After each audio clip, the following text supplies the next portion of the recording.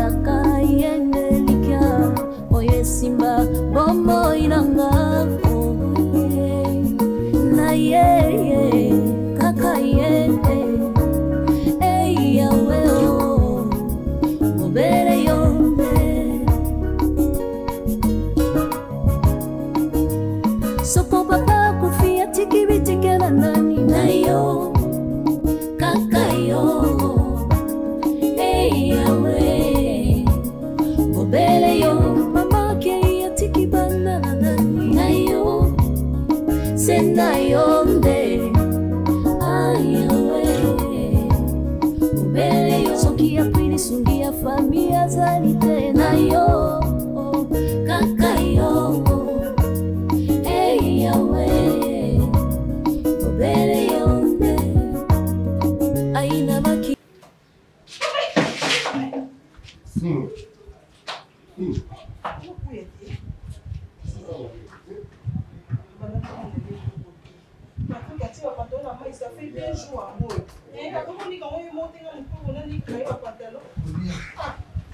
okolia okolia nini na batandi bakino balobaka na kolamba ata mpakasi okolia bango baboyaka mpe kolia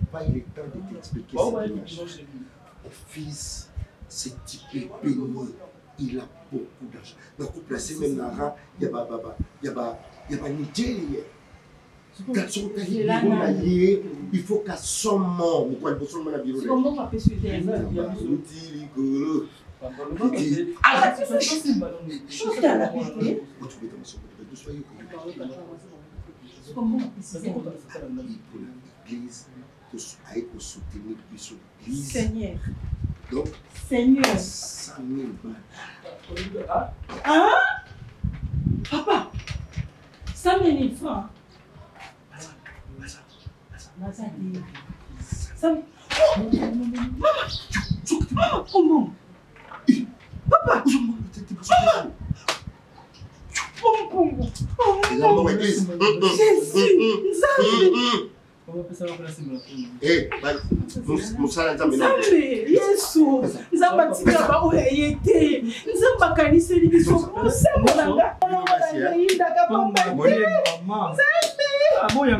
nzambeoki losambo bafinga nga amelia amelia alataka malonga te amelia tentire ebeba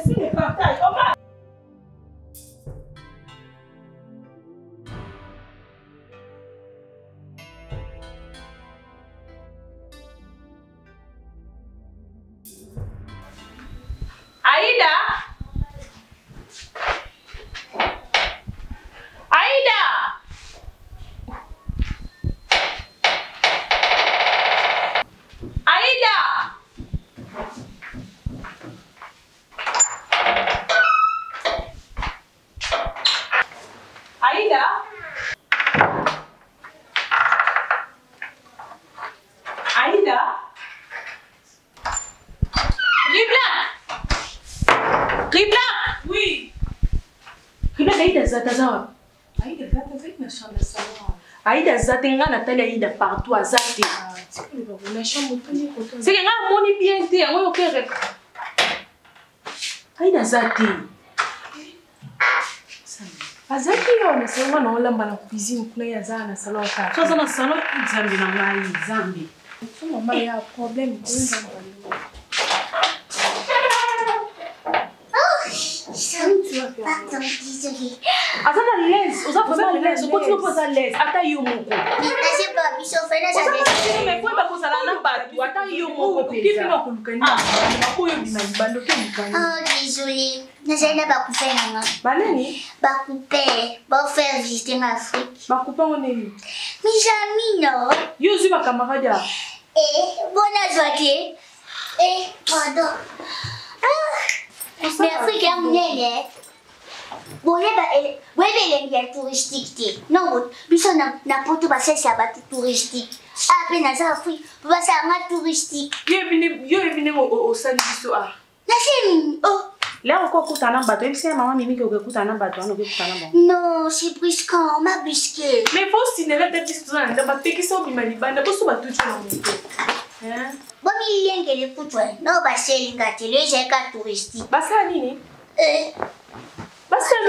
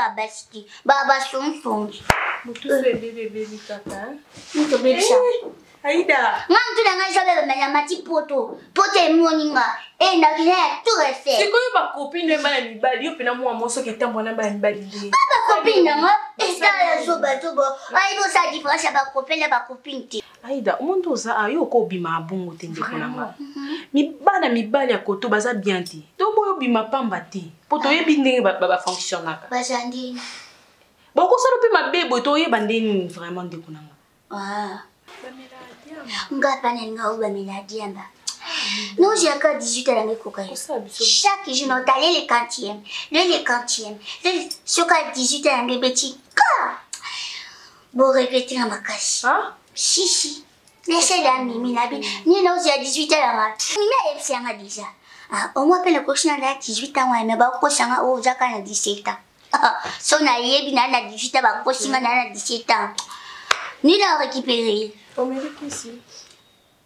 kisi yango oyo bameli kisi yo ne dokegile bourgeois nauti osala no bauti osanga touristalobi aozela 18 ans seke nde aza yana makambo mosusu ayebaka na ye seke yo nde oza oyeba noki opesa osala eloko moko opesa mamimi mpasi mai osala ah, mama nanga botangamu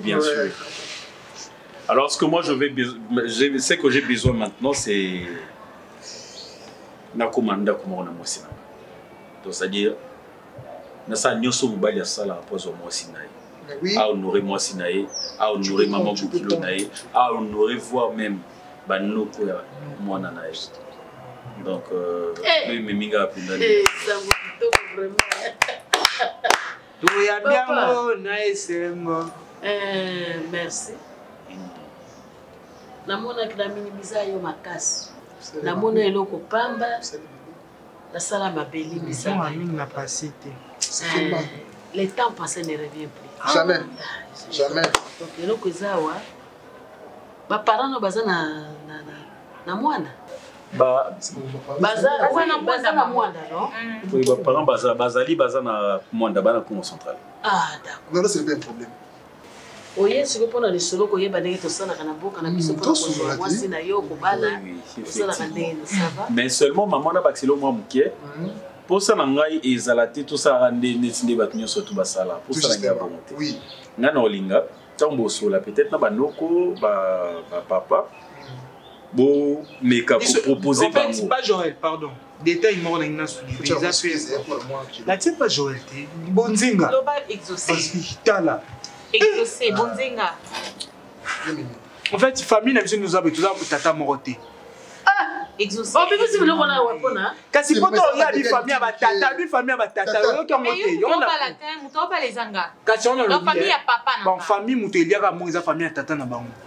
non nga mpe nakoya libala na tuko mpe nakoya te parce que tata na biso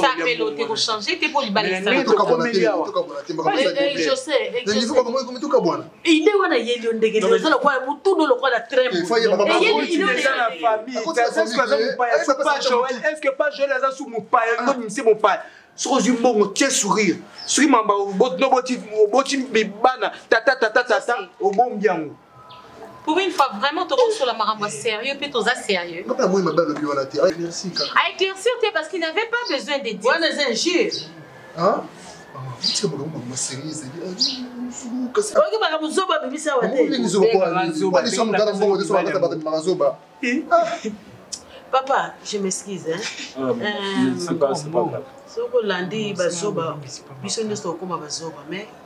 Hmm. Nga naza mama na boti mimi. Mama bazoba. Eh. Onzenga keba. Hmm.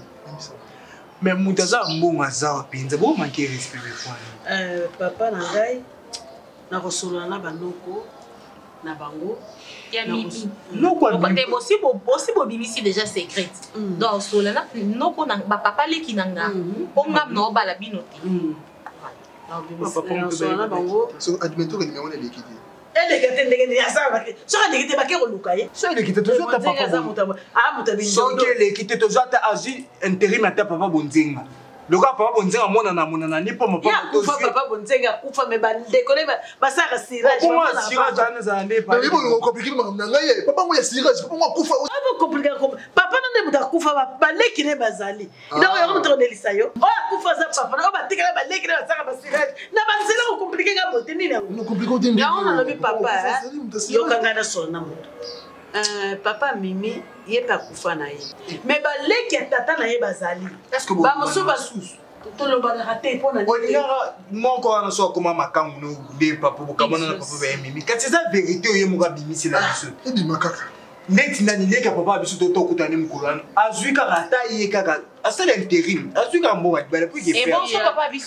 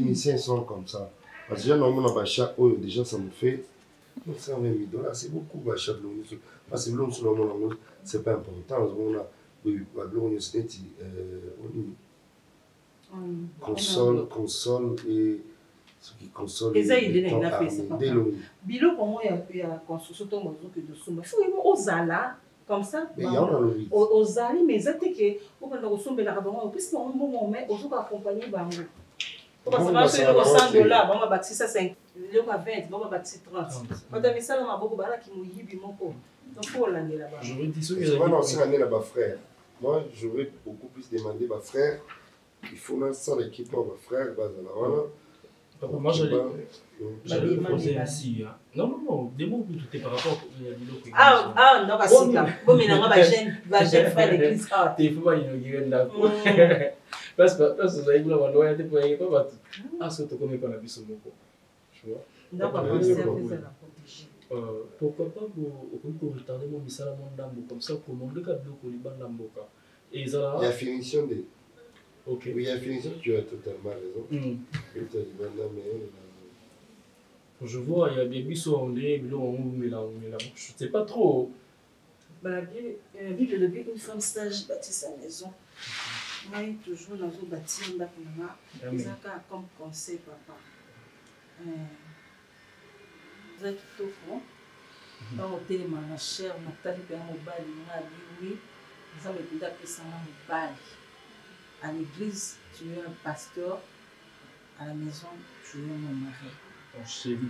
voilà kosangisana église na na ndako te naza mwasi mwana na nga asi akoli mhm. mais naza na besoin na sentir bolingo ke balingaka nga parce que le passé c'est déjà le passé mais j'en ai vraiment besoin ndako asika makambo asika bino mibali ozaloba balokiepai baza otasiko neti benadivi abakomi chaînon en béton armé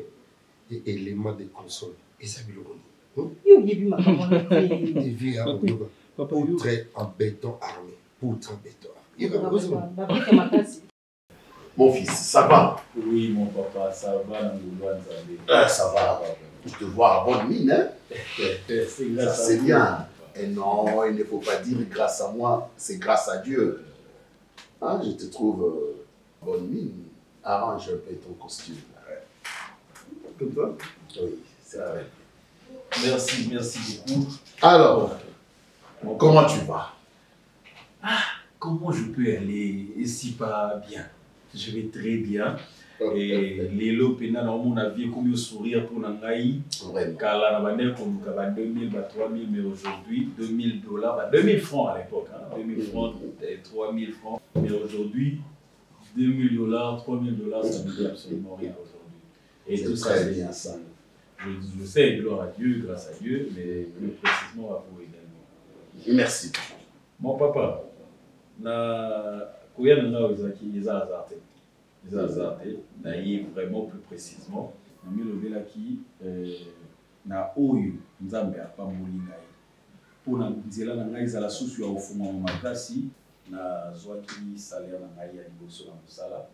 Alors euh, namilobelaki salaire na ngai ya liboso ngai nakoki yango te, ekweya na maboko na ngai te, ekweya na poche na ngai te.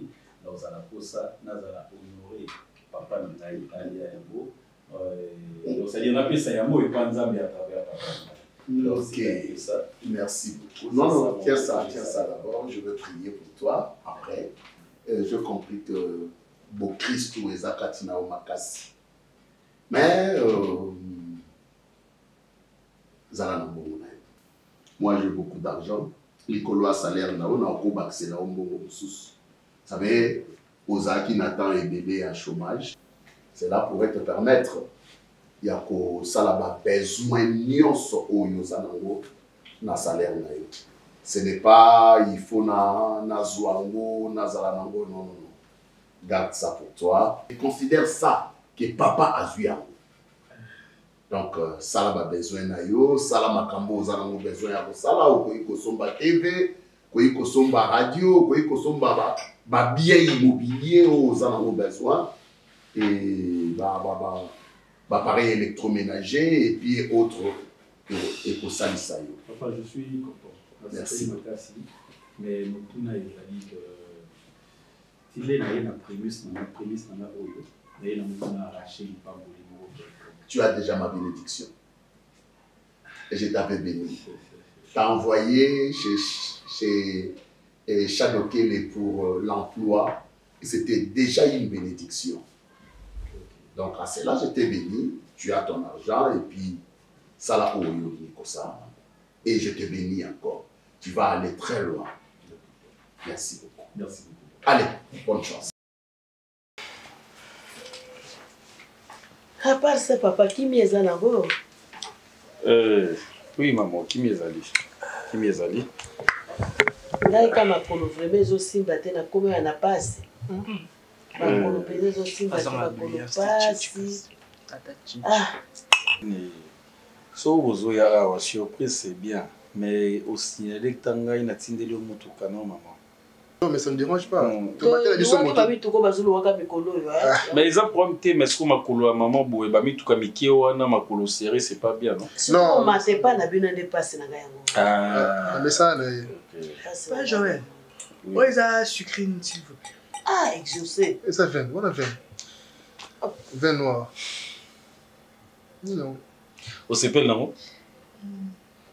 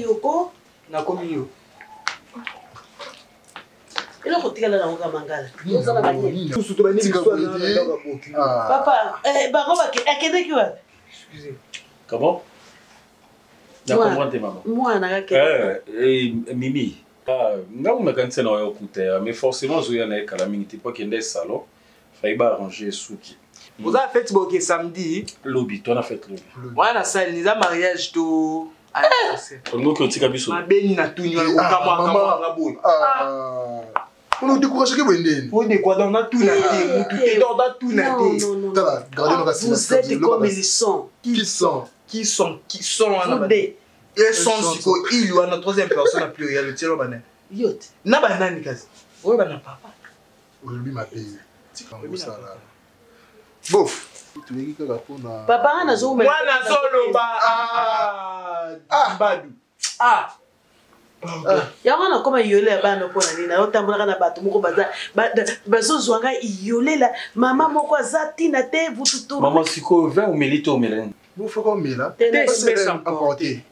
omeli de fois omeli ya mwindu omeli ya jaune papa wana ayomelaka ngai ya kokaokomaka na biyemelela okako estce osoma na ombongo so bapesi oetali yo eza likambo na yo yo deja omela vin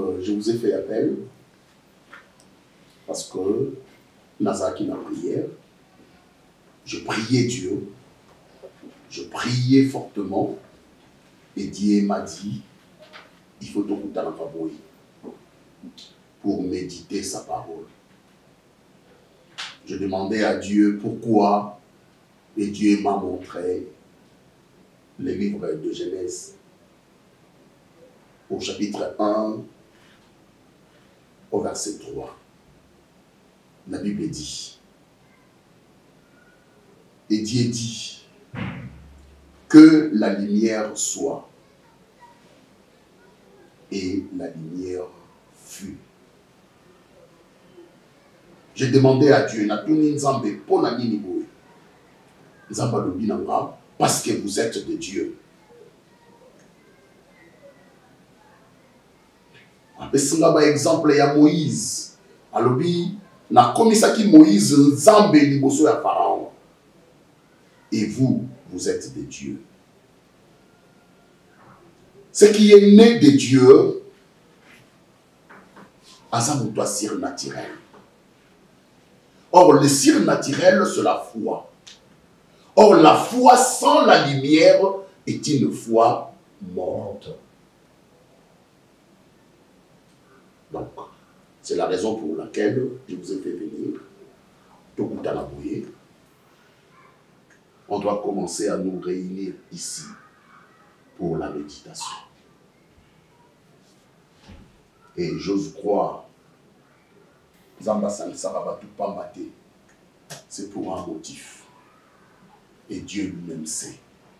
Et je veux vous dire que chacun de nous devait avoir la lumière de Dieu en soi. Et parce que Dieu m'a envoyé, moi aussi, comme dit Jésus, parce que le Père m'a envoyé, moi aussi je vous envoie. Et parce que nous sommes des dieux, je vais vous transmettre la lumière et que cette lumière va vous conduire et vous serez des hommes très affermis. Recevez la lumière. Soyez remplis de la lumière. Recevez la lumière. Soyez remplis de la lumière. Merci beaucoup.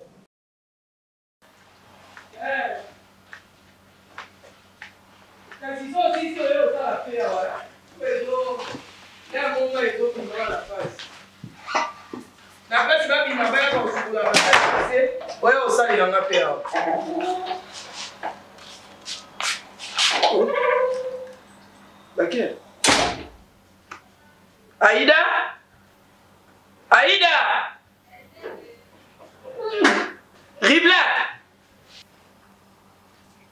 Oh. Maria. Maman. Boza.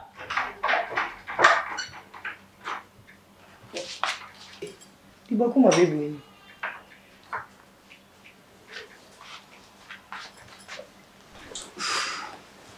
Wela mama ya omela. Bonsoir, Mourinho. Yaka, bongo ngani? Nabeti na obeli bakwa mabe. Aida aza. Bonsoir, maman. Bonsoir. Aida aza.